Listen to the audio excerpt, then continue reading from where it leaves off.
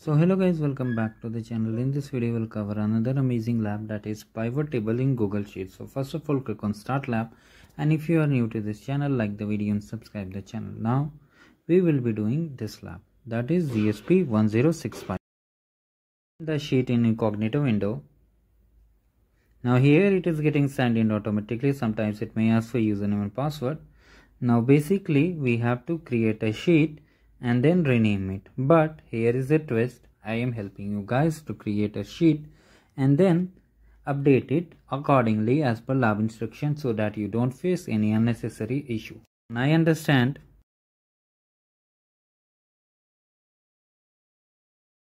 you have to click on the blank spreadsheet. So this will create a new spreadsheet where we will modify the file. So first of all you need to see there is no any spreadsheet which we have to copy. So we have to just rename the name.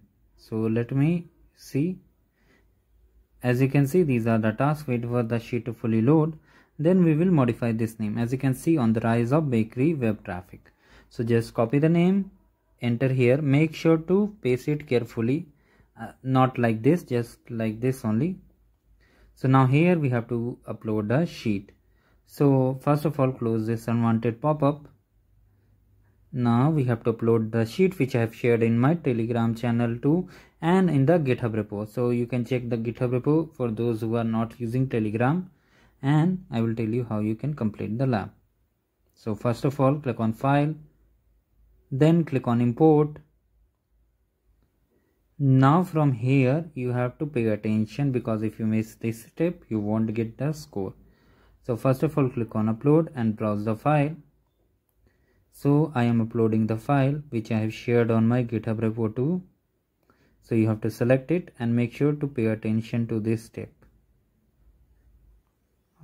So now here you have to click on replace spreadsheet not create spreadsheet or any other options mentioned on the lab. So this is very crucial step. Otherwise if you miss this step you won't be getting any score and you will face unnecessary error. We have imported the data.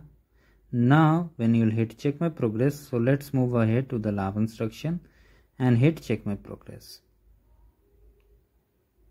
So we got full score and if you don't know how to download the file that is very basic i will tell you in the short video or if you need any help do let me know in the comment section